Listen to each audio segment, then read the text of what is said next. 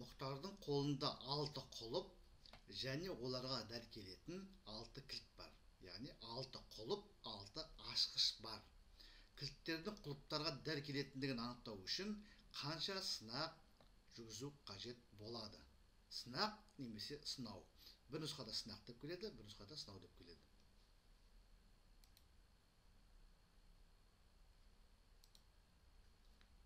Саламатсыздар ма құрметті оқырмандар? Сіздермен бірге математика пәнінің оқытушысы әсетов амангелді құмарұлы математикалық сауаттылық пәнінен күрделі есептер айдарымен берілетін есептер топтамасының кезекті нөмірі қырқыншы есебін талдауға кірісеміз.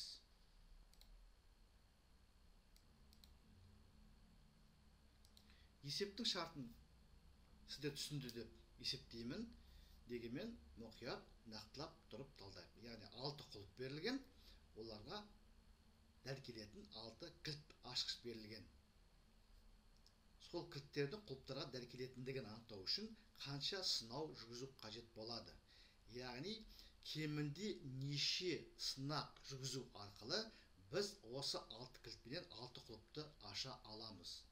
Бұл жерде кепілдік бере алуымыз керек. Әрине бірінші алған кілтімізді бірінші құлыпқа салатын болса ол ашылатын болса екіншісі екіншісіне сәйкес келетін болса тағы сол сияқты онда алты рет тексеру арқылы біз алты құлыпты аша алар едік. Бірақ ол дәл келмей қалуы мүмкін. Сондықтан кепілдік бере алатындай сынақтардың саны нешеу болатындығын табуымыз керек. Ол үшін алдымен қарапайым есептерден бастайық. Бізде екі құлып болсын. Екі құлып бар.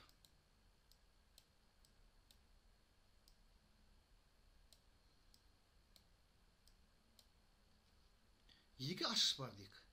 Бірінші ашқыш және екінші ашқыш. Иә кілттері бар. Екі құлып және оларды ашатын екі кілт бар. Неше сынақ жүргізу арқылы біз қай кілттің қай құлыпқа сәйкес келетіндігін таба аламыз. Бірақ сынақ жарайды екен біз бірінші ашқышты аламыз да бір құлып тексеріп көреміз егер ол мына құлыпты ашатын болса онда екінші кілт екінші құлыпты ашады егер бірінші кілтіміз мына бірінші құлыпты ашпайтын болса онда ол екінші құлыпты ашады да екінші кілт бірінші құлыпты ашатын болып шығады яғни бұл жағдайда бізде бір сынақ жеткілікті болады тағы бір қарапайым жағдай қарайық. Бізде енді үш құлып болсын.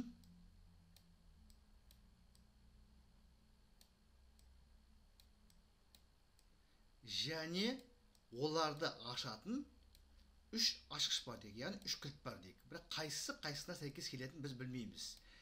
Енді осы үш құлып және оларды ашатын үш кілт жағдайында біз кемінде неше сынақ жасау арқылы қай кілт қай құлыпты ашатындығын табуымыз керек біз бірінші кілтті алып тексеріп көреміз мысалға ең нашар жағдайда қараймыз ал бірінші құлыпқа салып көреміз ол ашпайтын болсын екінші құлыпқа салып көреміз ашпайтын болсын онда біздің бірінші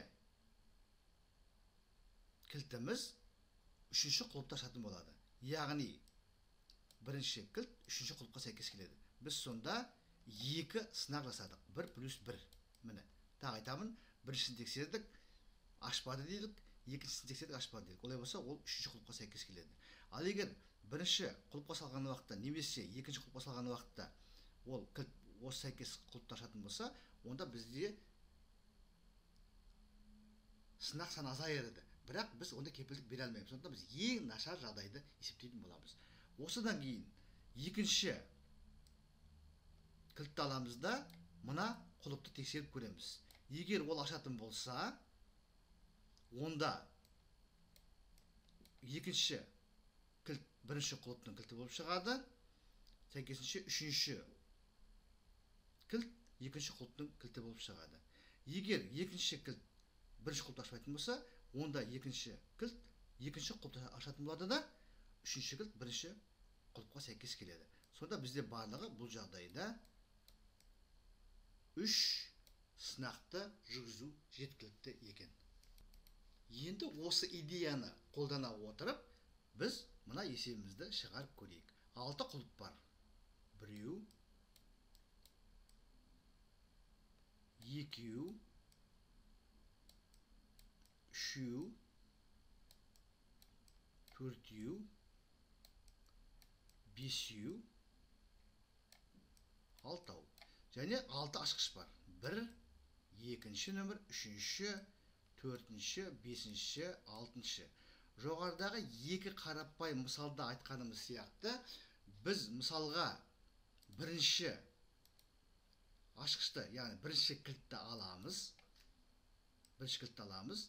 Сосын бір бірден тексеріп көреміз. Біріншісін тексереміз ашпайтын болса екіншісін тексереміз. Ашпайтын болса үшіншісін тексереміз тағы сол сияқты. Біз жоғарыда айтқанымыздай біз кепілдік беретін жағдайды табуымыз керек. Яғни бес құлыпты ашпайтын болсын. Егер бірінші кілтіміз бес құлыпты ашпайтын болса онда ол алтыншы құлыпқа сәйкес келеді. Сонымен біз бес сынақ жасау арқылы бірінші кілттің қай құлыптың кілті екенін таба аламыз. Сонда бізде бірінші кілтпенен алтыншы құлыпты сызып тастадық делік. Енді келесі екінші кілтті тексереміз тап солай. Бірінші құлыпқа салып көреміз ашпаса екіншіге ашпаса үшіншіге оны ашпаса төртіншіге салып көреміз. Егер ол осы алғашқы төрт құлыпты ашпайтын болса ол міндетті түрде бесінші құлыпты ашатын болады. Яғни ең нашар жағдайымыз яғни төрт рет тексеріп көреміз деген сөз. Сонымен екінші кілтпенен бесінші құлыпты сызып тастаймыз. Сол сияқты енді үшінші кілтті тексереміз. Біз кез келген ретпен тексере аламыз. Солдан оңға қарай оңнан солға қарай немесе бірінші үшінші төртінші содан екінші деген сияқты. Біз үшін оның тұрған орны маңызды емес. Тағы сол сияқты үшінші кілтті алып бір, бір, бір құлыпты тексереміз. Ашпаса екіншісіне көшеміз ашпаса үшіншіге көшеміз де егер үшеуін де ашпаса онда ол төртінші құлыпты ашатын болады. Сонымен үшінші кілттің қай құлыпқа сәйкес келетінін табу үшін біз үш сынақ жасаймыз. Ең көп дегенде. Сәйкесінше төртінші кілттің қай құлыптың кілті екенін табу үшін қалған үш құлыптың қайсысына сәйкес келетінін табу керек. Біз ең көп дегенде екеуін тексереміз. Егер екеуіне сәйкес келмесе ол міндетті түрде үшіншісіне сәйкес келетін болады. Сонымен бізде төрт кілтіміз кетті.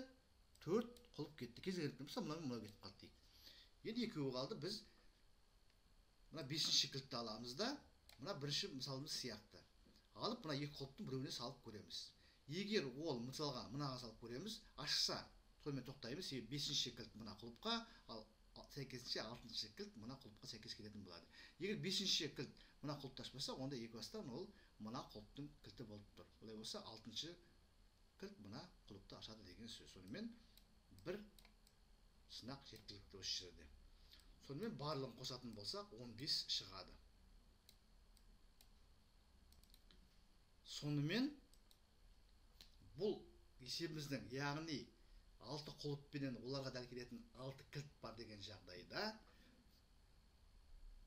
әрбір кілттің қай құлыпты ашатындығын табу үшін яғни кепілдік беру үшін біз кемінде 15 сынақ жасауымыз керек екен. Сонымен жауабы а пункті 15